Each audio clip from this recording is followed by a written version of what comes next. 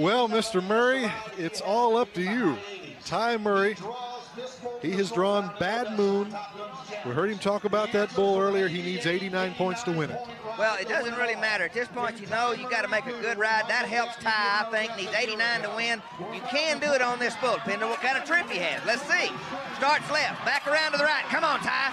Get it, get it. Get after it. Keep pumping, keep pumping. He's in trouble. Hang on. Whoa, like I stepped on. He made the whistle, but that's going to cost him some points. That probably, that cost him the riding, I think, for first, but uh, second's pretty close there. Wow. Let's see what the judges say. Well, you can never short Ty Murray on try, Donnie. He hung on there and hung on there till the very last second.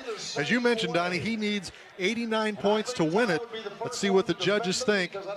And they gonna- say no. He's not going to get 89. 84, Donnie, a total of 252. I mean, he, he rode really good, tried really hard, but he was out of there the last half second.